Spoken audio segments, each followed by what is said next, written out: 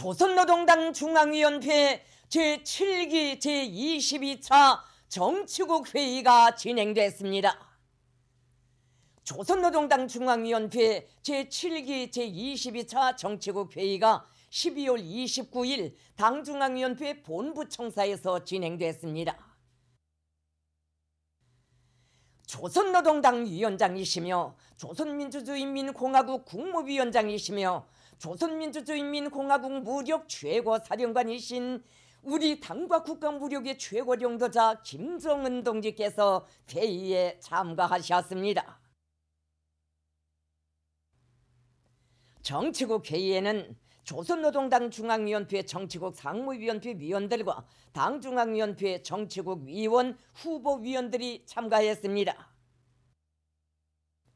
경애하는 김종은 동지의 지도 밑에 김재룡 당중앙위원회 부위원장이 회의를 사회했습니다. 회의는 조선노동당 제8차 대회 준비 사업에 대해 연구했습니다.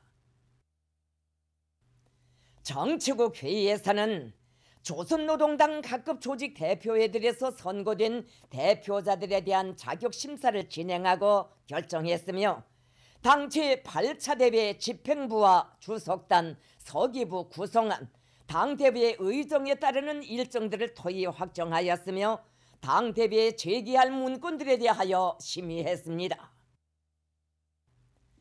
조선노동당 중앙위원회 정치국은 상기 문제들에 대한 진지한 연구를 진행하고 상정된 의정들을 승인했습니다.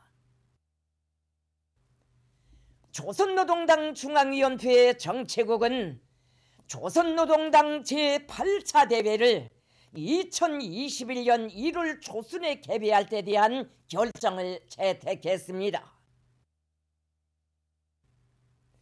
정치국 회의에서는 전당과 전체 인민의 비상한 정치적 열의에 의해 80일 전투기간 각 분야에서 혁신적 성과와 전쟁을 이룩하여 당체 8차 대회 소집을 위한 훌륭한 조건을 마련하였으며 당체 8차 대회 재반 준비 사업이 순조롭게 결속되어 가고 있다고 평가하면서 대회 준비 사업을 계속 실속 있게 잘해 나감으로써 대회 사업의 성과를 철저히 담보해야 한다고 강조했습니다.